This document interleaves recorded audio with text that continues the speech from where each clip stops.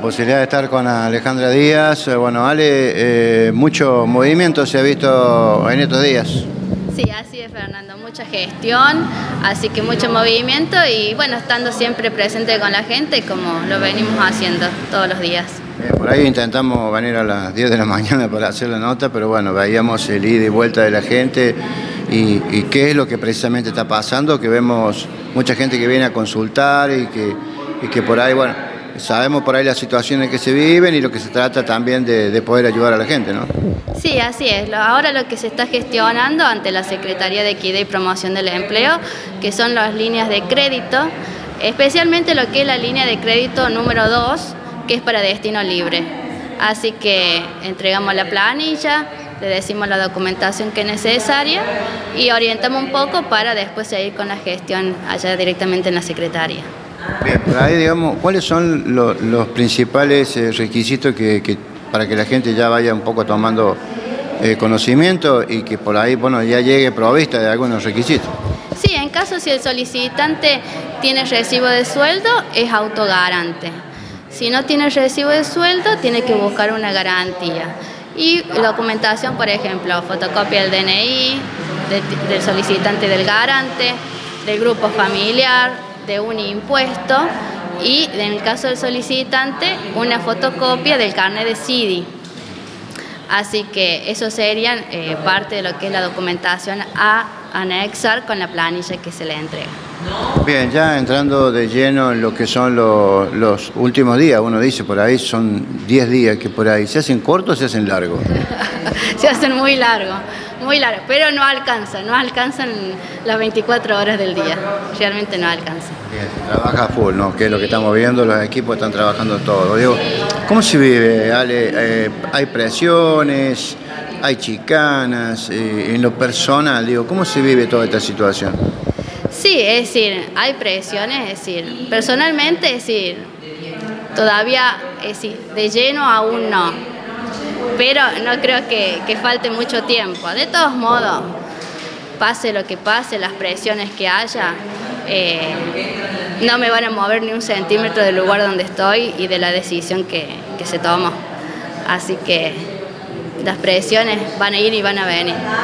¿Qué es lo que, se recibe de la gente eh, cuando ya queda, eh, como dijimos nosotros, 10 días, que para algunos pueden ser eh, pocos, pueden ser muchos, pero de cara a lo que es el 10 de noviembre, ¿qué, es lo que ustedes reciben de la gente? Que eso también es importante mencionarlo. No, no mucho acompañamiento de la gente, mucha buena, buena energía, buena onda y bueno, siempre dando el aliento. Así que, que es fundamental, es fundamental que la gente esté, que se acerque, que acompañe y que, bueno, que participe fundamentalmente también. Otra de las cosas que hay que destacar es que nosotros que nos ha tocado ir a la mayoría, o por lo menos hemos estado, no digo en todo, pero en casi todas las presentaciones, reuniones, eh, actos en que se han llevado a cabo en, los barrios, eh, ese, esto de haber recibido o que reciben al frente de una manera eh, popular, lo reciben todo, yo veíamos nosotros si tuviéramos que hacer una especie de aplausómetro, eh, todos ustedes reciben el mismo cariño y eso hace que la gente ha entendido muy bien de que la unión de, distintos dirigentes que hacen a los distintos partidos sumado a esta propuesta de Gustavo ha sido muy bien recibida por la gente. Sí, es que la unión hace la fuerza. Y, sí, ha habido muy buena aceptación de la gente, porque venimos trabajando, es decir, tanto Gustavo y también es decir, personalmente venimos trabajando desde hace mucho, obviamente más Gustavo, más en presencia en la calle.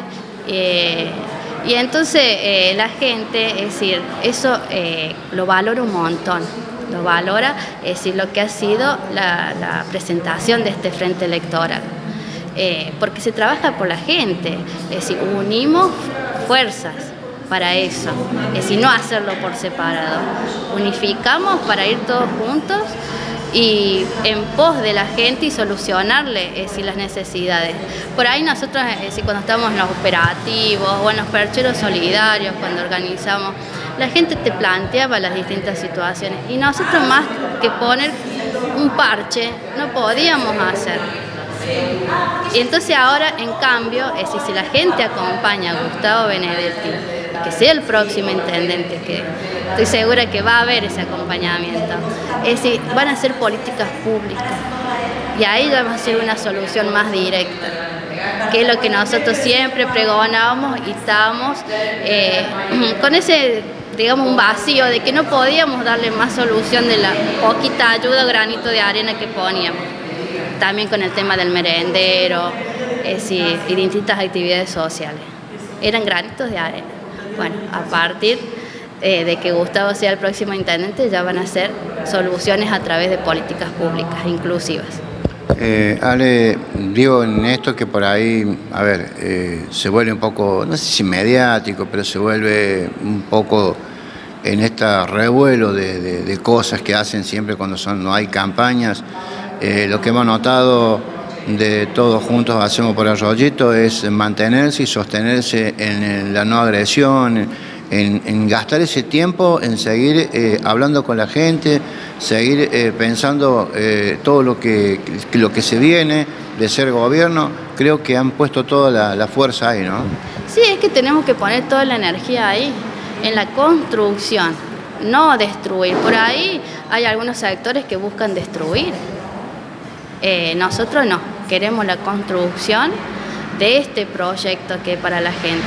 Un proyecto que incluye eh, más de 23 equipos de trabajo y que vienen trabajando de hace de más de dos años y que es todo aglutinado, todo coordinado y organizado. Así que esa es la construcción que nosotros queremos de un arroyito, de un fuertecito, de una, eh, la curva, inclusivo, con igualdad de oportunidades para todos.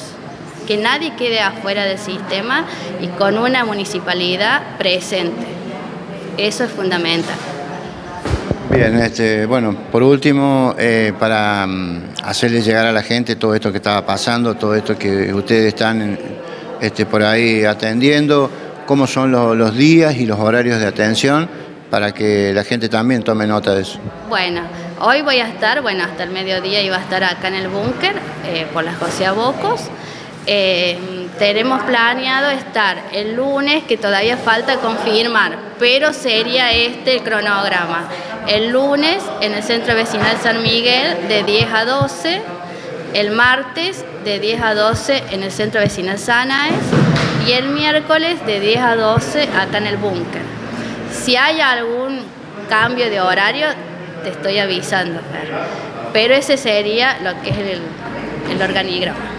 Bueno, Ale, como siempre el agradecimiento y bueno, siempre digo agradecido por, por atendernos y bueno, nosotros también por poder llevarle a la gente todo lo que está pasando. Bueno, muchas gracias a vos por estar siempre informando a la gente y bueno, muchas gracias y realmente valoro mucho la presencia de este medio, que en las buenas y en las malas siempre ha estado hay que estar.